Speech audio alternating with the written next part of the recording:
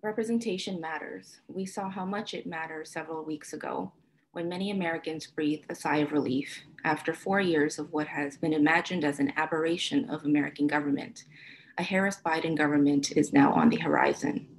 Kamala Harris has become the first female, first Black, and first Asian American vice president elect in history. The sense of hope many felt partly reflects the dominant presumption that the arrival of racialized politicians guarantees a move to racial progress and social justice. We expect things should be different now. Indeed, the political inclusion of previously excluded racialized populations matters. This presentation is concerned with how it matters. Incorporation has also helped to sustain a political order that has been racially violent the arrival of other firsts, including but not limited to Nikki Haley, Condoleezza Rice, and Jennifer Carnahan, pictured here, have demonstrated this. For those of us that have kept our eye on racial violence in the long arc of American democracy, the sigh of relief does not come as easily. By briefly reviewing one case study of the first Korean senator in Canada, I highlight the criticality of attention to structural power the seat, the table, and the terms of incorporation. This allows us to trace the preservation of dominant racial discourses, policies, and systems, which not only foreclose possibilities for substantive diversity, but also actively operate to neutralize critiques of state, military, and police violence. It is in such a context that post racial discourses not only persist alongside explicit racial violence, but make its very conditions possible. A case study, a beacon of hope for Afghanistan, question mark. July 27, 2013 marked the 60th anniversary of the signing of the Korean War armistice. Written by Canada's first senator of Korean descent, Bill S-213, an act respecting a national day of remembrance to honor Canadian veterans of the Korean War, had recently received royal assent. According to Stephen Harper, 2013, the year of the Korean veteran, Korean War veteran, quote, honors their brave fight to defend the Republic of Korea and uphold freedom, democracy, and the rule of law during one of the most significant armed conflicts of the 20th century, unquote. Described as one of the most challenging chapters in our nation's proud military history, Harper, like Senator Yonah Kim Martin, on numerous other occasions, make clear exactly who and what Canadians remember. Who we remember are the 26,000 Canadians who fought in Korea between 1950 to 1953, and the 516 Canadians who made the ultimate sacrifice. What we remember is the global importance of Canada's military. Our contribution of troops was one of the largest, emphasizing the continued importance of the Canadian military. The PM closed his statement by linking our remembrance of Korean War veterans to our support for, quote, the men and women who continue to serve our country today, unquote. Indeed, Canada's military in 2013 was in the final years of what became a 12 year long engagement in the Afghanistan War, oft rehearsed as the largest Canadian mission abroad since the Korean War. Afghanistan was routinely conjured on occasions remembering the Korean War. For instance, Senator Martin frequently drew from her parents' stories of rescue from North Korean communist terror and finding freedom and democracy in Canada. She suggests that, quote, perhaps the Republic of Korea stands as a beacon of hope for the people of Afghanistan, unquote. I explore the ways in which the connections made between Korea and Afghanistan have been both generative and destructive. By examining parliamentary speeches and documents, I do two things. I investigate how the Korean Peninsula and Afghanistan are officially explained as places gripped by communist terrorist regimes, imperiling not only the lives of civilians, but also threatening global peace and security. I examine the Korean War as central to not only the expansion of the Canadian military, but also as it defined Canada's support for American imperial wars that would follow. I expose how the government of Canada relied on settler colonial militarism as a blueprint for its imperial militarism in Korea and reached for this blueprint again in Afghanistan. Secondly, I examine the role of nations and subjects liberated or rescued by a UN backed, US empire led war machine, demonstrating in their scripts and activities the reach of that powerful axiom engraved on the American Korean War Veterans Memorial that freedom is not free. In his 1950 address to the graduating class at the University of Toronto, Prime Minister Louis Saint Laurent delivered a speech entitled The Preservation of Civilization. Identifying the global menace facing the Western world as communism, St. Laurent explains this threat as political, military, and above all, civilizational. Describing communist governments as repugnant and barbaric, St. Laurent assures young Canadians that, quote, the building up of that deterrent strength through the North Atlantic Alliance, and more recently through the UN action in Korea, has been the first preoccupation, preoccupation of the government of Canada, unquote. Deborah Cowen has noted that in this period, while Canadian national culture was militarized in order to protect the nation from potential American invasion, the Canadian military was in fact rebuilt after post World War II demobilization to support American imperial wars. It was indeed as a result of a direct request from Truman in 1951 for help in Korea that Canada rearmed at a shocking speed and scale. The total cost of this rearmament over three years exceeded $5 billion. The defense budget multiplied by five times between 1950 and 1953 necessarily elided in St. Laurent's framing of the Korean War as a civilizational war between the US and the Soviet Union and their respective allies, is any historical context and geopolitical specificity that would in fact challenge the war's supposed beginning and end. Scholars of US military empire in Asia and the Pacific have provided the context, which for sake of time, I can only briefly review. In 1945, three days after bombing the civilian city of Nagasaki, President Truman deputized two junior Army officers, Bonesteel and Rusk, to adjourn to a room. With a National Geographic map in hand and without consulting any Koreans, they drew a line through the Korean peninsula at the 38th parallel and divided the country into occupation zones. Hong reminds us that the drawing of that line was realized on the ground through profound bloodshed and precipitated a war of national reunification that began years before the US designation of the official start of the war, when, as it was popularly accounted, the North attacked the South. Challenging this official account, Kimen demonstrates how what began essentially as a local civil conflict and decolonization project in a small nation became ensnared within the global Cold War superpower rivalry. Political tensions in Korea, a legacy of Japanese colonial occupation, were exacerbated when the US occupation forces in the South formed a governing commission of several hundred conservatives who had collaborated with the Japanese colonial administration. Left critique in Korea, both communist and non communist, including anti colonial resistors, populists, and advocates of land reform were all collapsed under the enemy category of communist and targeted and repressed by this formation of a pro American elite in the South. If the pattern of US foreign intervention has been to overthrow leftist leadership and impose right wing regimes, which in turn support US interests, as scholars have documented, it was certainly the case in South Korea when the US propped up right wing pro capitalist dictator Lee Sung man in 1947 someone who had no popular support and who had been living in exile in the United States.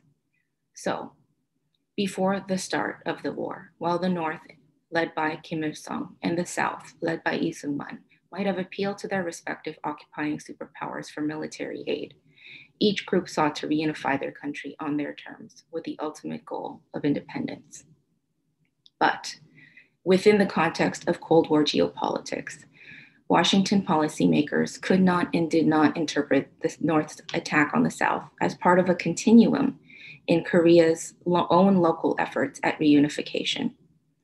Although by 1949, both Soviet and American occupation forces had pulled out, the Cold War scene of persuasion, as Jodi Kim calls it, convinced the US that it was Soviet sponsored. Thus, Truman saw it as a direct Soviet challenge to and test of American power, not only in Asia, but the rest of the world. As such, Truman quickly decided to intervene by circumventing a formal declaration of war, which would have required the approval of Congress via a UN resolution for a police action that turned into a de facto US operation in Korea. Indeed, remembrance of the Korean War has not only centered on Canadian veterans, on detailing victory, national remembrance has also marginalized those directly impacted by the war, reducing them to collateral damage in worthy battles. Prompted by Thobani to recognize the sheer corporeality of the terrain upon which mass terror is waged, I briefly detail the carnage that was wreaked in the name of peace and liberty. Every major town and city was destroyed during the Korean War. At least 10% of the population was dead, and the vast majority of those surviving were homeless. 3 million Korean civilian casualties, in addition, 2 million missing or wounded, almost 10 million Koreans separated from friends and relatives, and fewer than 10,000 of them reunited since. As part of the coalition governments engaged in a carefully orchestrated propaganda campaign, John Price has reminded us that the Canadian government misled Parliament, encouraged censorship of the press, and intimidated the peace movement. Speaking in the House of Commons in May 1952, Lester Pearson unequivocally denied the charge that UN forces in Korea had engaged in germ warfare. However, we know now that in Korea, Washington introduced that what it calls weapons of mass destruction, weapons so heinous that the US would decades later target other governments who harbored them as terrorist enemies. Relentless aerial bombing and the dropping of a new weapon called napalm almost completely leveled northern and central Korea. As documented by historians, Canadian soldiers were also court martialed for war crimes, cases which were predominantly reported in Canada as isolated incidents perpetrated by soldiers who are bad apples. There were hundreds, perhaps thousands of such violent crimes committed by UN forces. Of the 60 or so Canadian cases that actually came to trial, most of those convicted were released upon their return to Canada. Stories about military racial violence are transformed into stories about, to borrow from Razack, dark threats and white knights. In 2002, Canadian white knights were recruited for another American imperial war. In his forward to the final report to Parliament on Canada's engagement in Afghanistan, Harper explains why Canada became an early coalition partner. Echoing Cold War scripts delivered by his predecessors, Harper identified the 2001 terrorist attacks on the United States as, quote, an armed attack against all members of NATO, and those who perpetrated this act of violence did so with impunity from within Afghanistan. Or, in Yonah Martin's words, we fight a new enemy with an all too familiar and ancient cause, unquote. Again, evacuated from this official account is any historical context or geopolitical specificity that would better explain the US invasion of Afghanistan. Indeed, scholars have exposed how it was the American administration's economic and political interests which led to its initial support of the Taliban in the mid 1990s. Thobani has called attention to how Afghan's women's groups actively resisted the Taliban and the Northern Alliance at that time, which the US government then backed in 2002. These groups made it abundantly clear that US military intervention was not going to lead to the emancipation of women in Afghanistan. Disavowing women's organized resistance again, war and terror discourses instead depicted them as victims of Islamic culture to be pitied and saved by the West. PM Harper reported that our engagement in Afghanistan, the longest armed conflict in our history, has been like no other. More than military, he clarifies that Canada embraced a whole of government approach. A war involving mass civilian death is instead reported as one that involves setting benchmarks, baselines, and progress indicators, which allowed the government to report successful quarterly targets achieved. This whole of government approach involved a provincial reconstruction team utilizing personnel from the military, foreign affairs, the Canadian International Development Agency, and the Royal Canadian Mounted Police, which would provide a dual role of security as well as reconstruction of the country. If its task was to bring Western liberal democracy, specifically rule of law, to a country routinely described as a failed state, Canada's progress priorities were measured by the building of Afghanistan's military and national police forces, a corrections infrastructure, intelligence, education, economic initiatives, especially microfinancing and the encouragement of women borrowers, democratic development, and the support for human rights. The plow and the rifle. Canadian historians have documented how war and military commemoration were central to Harper's politics of history. Commemoration of the Canada's role in the Korean War has been one part of a larger endeavor to re-narrate Canadian history. Remembering the nation's foundations as rooted in military triumphs are instructive. They become national ritual for proud Canadians, and it gives coherence to our military interventions in the present and future. Omitted from this remembering is the sustained role that the Canadian military, the RCMP, and other police forces have played in the original and ongoing national development strategies aimed to assimilate Indigenous people. In Canada, like the US, World War II renewed the role of war power in dispossessing Indigenous people. For example, the Department of National Defense, the DND, decided during World War II that it should establish an Army training facility on the Stony Point Reserve near Lambton, Ontario. Despite protests by Indigenous people of Kettle and Stony Point bands, 2,240 acres of their property was appropriated on April 14, 1942, under the War Measures Act. Residents were evicted from their land and houses were bulldozed. Over the next five decades, Canada's promise to return this land after World War II was betrayed when the DND insisted that it continued to need the camp for military training. Former residents of the Stony Point Reserve protested the military ranges of Camp Ipperwash, which resulted in the 1995 police shooting death of Dudley George. During the Korean War, soldiers of the 2nd Canadian Rifle Battalion and the 3rd Battalion were trained at Canadian Forces bases, including Camp Ipperwash. The transformation of Indigenous land into terra nullius in the name of national security compels us to examine war power as an ongoing motor of both military, imperial, and settler colonial formations. In his 1951 speech titled Canadian Foreign Policy in a Two Power World, Lester Pearson, then Minister of External Affairs, explained the burden that free nations faced with the rising threat of global communism and anti colonial movements and affirmed Canada's obligation in America's war in Canada, in Korea. In his speech, he explicitly evoked the centrality of militarism to settler colonialism. I quote, we are faced now with a similar situation in some respects to that which confronted our forefathers in early colonial days. If they stuck to the plow and left the rifle at home, they would have been easy victims for any savages lurking in the woods. The same combination is required today we must keep on plowing harder than ever while we arm. We should accept without reservation the view that the Canadian who fires his rifle in Korea is defending his home as surely as if he were firing it on his own soil. Unquote. I argue that the blueprint for imperial militarism in 1950 relied on the settler colonial militarism that founded the nation. These racial logics give coherence to the eight tribal ships a class of destroyers built for the Royal Canadian Navy named after Indigenous people that Canada sought to eliminate, which sailed to the Korean Peninsula to fight battles in another war. The Canadian government reached for this blueprint once again in 2002. What the Afghans need, said one conservative columnist, is colonialism.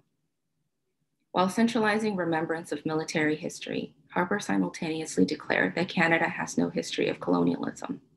One can glean how, for Harper, like his predecessors, a history of colonialism is instead a history of civilizational military triumph, a settler colonialism achieved with the rifle as much as it was by the plow, the brutal dispossession of Indigenous people led by national military and police forces, which has never stopped targeting land defenders, is erased in this national memory. The many murdered were collateral damage in this worthy civilizational war on the home front and to this day remain not high on our radar. Through its whole of government approach, the Canadian government revealed the continued significance of the rifle and the plow in its participation in imperial war today. I argue that these omissions, the omission of these links, has been necessary and deliberate.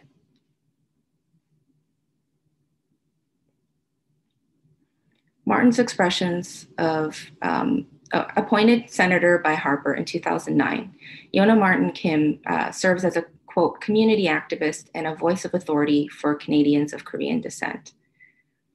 Unquote. Her maiden speech, like many of her speeches that follow it, emphasized the conservative government's exceptional commitment to freedom, justice, rule of law, the industrious work ethic of Korean Canadians, the problem of North Korea and the sparkling democracy that is South Korea, which is routinely and directly attributed to Canadian veterans who saved it from communist terror. As Canadians, we are directed to mourn the lives of our soldiers. As Korean Canadians, we are instructed that we owe them our lives. Their heroism was a gift. For our rescue, we owe them a debt. I quote Honorable Senators, there are no words to express the indebtedness and respect that an entire nation feels toward the veterans of the Korean War. The Korean community across Canada, in solidarity with Koreans around the world, will never forget how Canadian soldiers answered a call to serve for a strange people in a foreign land across an ocean. I owe my very existence to them. Unquote.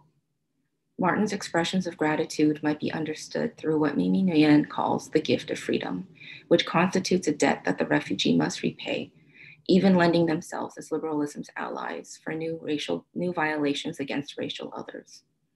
Martin's contributions might be located in a structural legacy of the Cold War. In his explanation of South Korea's troop commitment to the US More Flags Coalition in Vietnam in 1965, then South Korean President Park Chung-hee opined that it was a way of repaying those 16 free nations which came to our military aid during the World Korean War. According to the 1975 US Army study, Allied participation in Vietnam, South Korea was vital to the More Flags Initiative success, wherein every Korean soldier sent to South Vietnam saved the US from sending an American into battle, plus commanded far lower pay. Rather than celebrated, South Korea, Japan, the Philippines, and Thailand were named as accomplices to US aggression by the 1967 International War Crimes Tribunal on Vietnam. Revealing Nixon's doctrine of using Asian boys to fight Asian boys, Hong emphasizes how, at one tribunal hearing, a former Army Special Forces soldier testified that US recourse to Asian mercenaries was aimed at deflecting culpability. Quote, we were continuously told you don't have to kill them yourself. Let your indigenous counterpart do that, unquote. Indeed, in a violent piece, Hong finds that the lesson for those in the ambit of US military empire was plain. Access to post war modernity could be had at a price complicity in the US war machine. Where the imperative of US military expansion was to restructure the region as a free market zone, the economic development of South Korea under the military dictatorship of Park Chung-hee meant displacing the pursuit of decolonizing justice while circumventing local processes of democratic self-determination. That is, regional democratization has been realized through the active suppression of democracy. In the region where the US waged catastrophic anti communist wars of intervention, militarism would be promoted as a stabilizer of democracy and the basis of capitalist futurity, rather than a crisis generating architecture responsible for instability. The legacy of this militarized democratization is revealed in the 2014 signing of the Canada Korea Free Trade Agreement, which was jointly announced by Harper and now ousted President Park Geun-hye, Park Chung-hee's daughter. This first trade agreement for Canada in the Asia Pacific region wouldn't have been possible, declared Senator Martin, without the sacrifices of our veterans who fought valiantly against communist aggression now the FTA is a dream come true. Martin declared that South Korea has risen from the ashes of war to transform itself from being the second poorest nation in the world to becoming one of the leaders of the industrialized world. If militarized democratization has grown South Korea into a sparkling democracy, North Korea has remained a problem. Soon after her Senate appointment, Martin commended Canada for co sponsoring a UN resolution which urges North Korea to ensure full, rapid, and uninterrupted access of humanitarian assistance and to engage fully with the international community. As was the case in 1951, Canada will stand against North Korean tyranny. Unquote. Noting the disturbing continuities in the discursive and geopolitical matrices of the Cold War and the more recent War on Terror, Kim and Hong and others have each examined how this fixation on North Korea as a problem as it returns as part of the axis of evil, obscures America's role in literally giving birth to that problem in the first place with the drawing of that line. We must remember that while the signing of the armistice in 1953 recommended that all three signatories arrange the withdrawal of foreign forces from Korea within 90 days, war instead became an extended present. Hong reminds us that while China withdrew its forces from North Korea within five years, the US to this day still stations 28,500 troops and operates roughly 100 military installations south of the ironically named demilitarized zone. Integral to the legitimation of the US's ongoing strategic presence of military bases in Asia has been sustained demonology of North Korea, a country that has never not been under the threat of US war. Hong reminds us that in the middle part of the 20th century, the United States dropped 420,000 bombs on Pyongyang, a city which at the time had an estimated 400,000 residents. That is literally more than one bomb per person. And that has had serious structural consequences that are elided in simplified ahistorical representations that deem it a failed state and thus a permissible military target.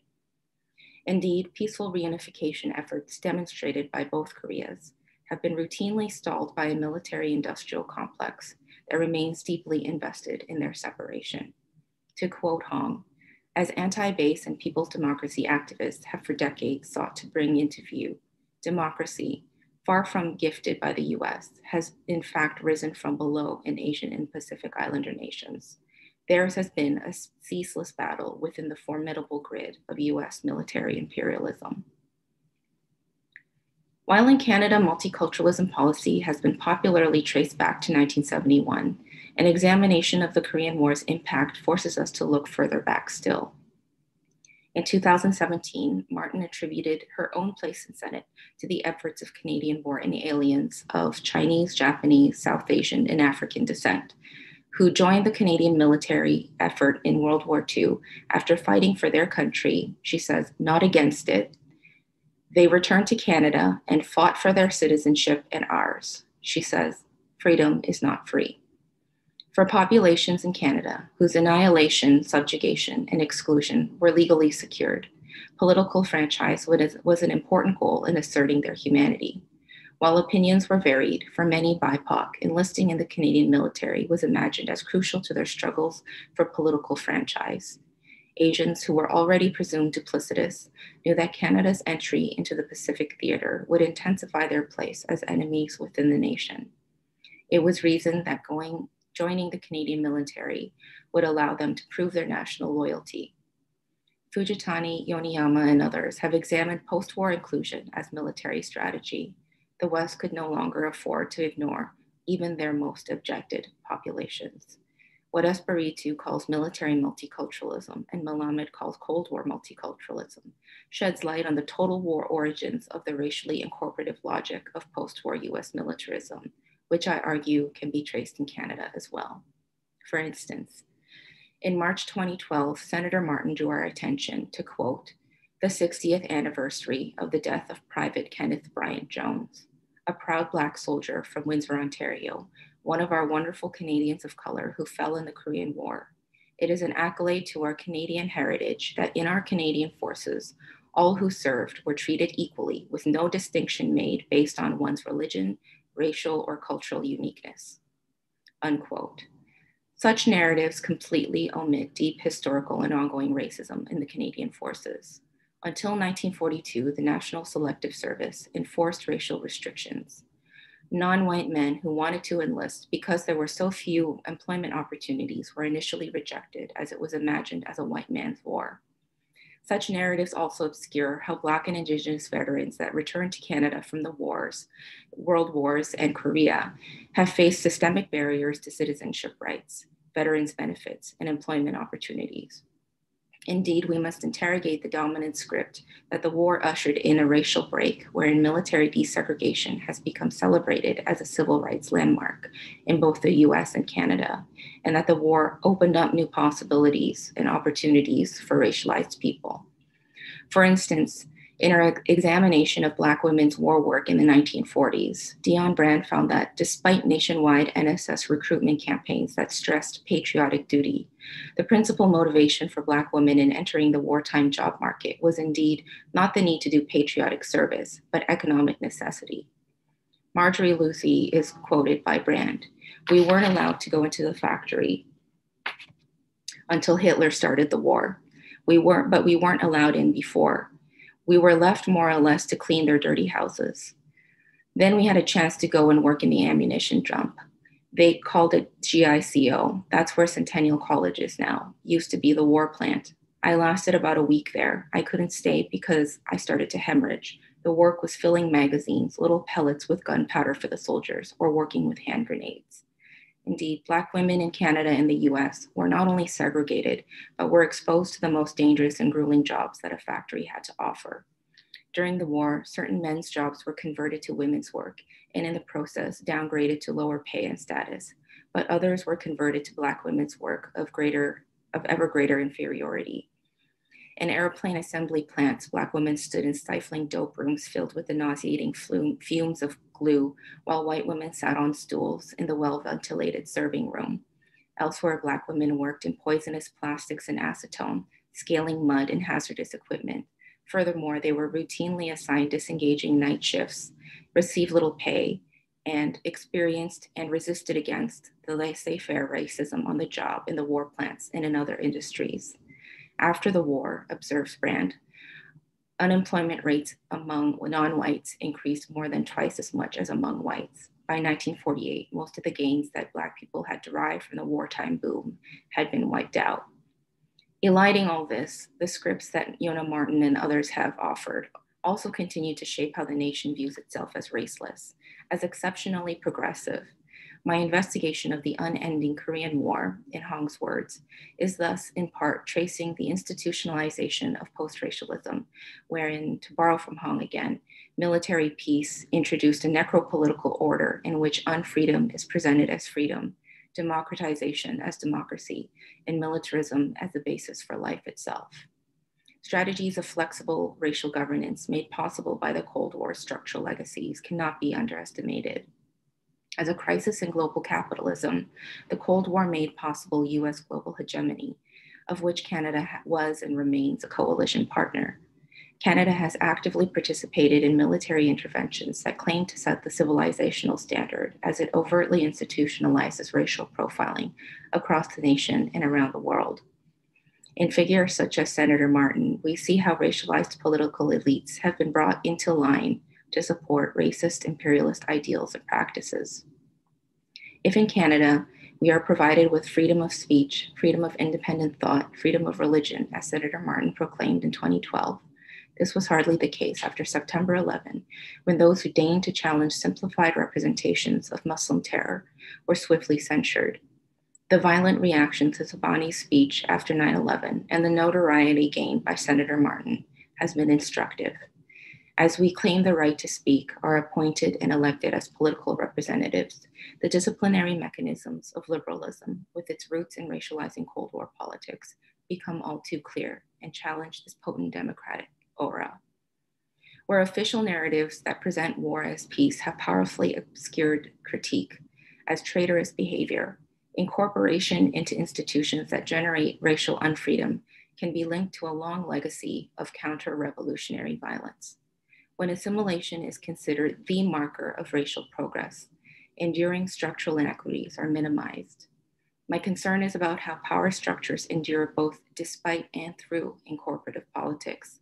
It is a concern not about left or right politics, but rather projects reliant on uh, a progressive teleology of Western liberal democracy and its capitalist colonial imperial arteries. This impacts the struggle to decide what ethical racial justice looks like.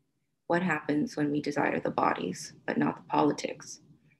I close, and I want to close by gesturing to a different beacon of hope. It is well known that Black radical anti fascist activists publicly denounced the US invasion of Korea. Their critique stemmed from the recognition that police and military repression of anti racist struggles stateside were intimately tied to military intervention against anti colonial struggles abroad. I quote from Eldridge Cleaver of the Black Panther Party. The great example of the Korean people's struggle against the United States is a beacon light of hope to all the peoples of the world who are struggling for liberation. Unquote.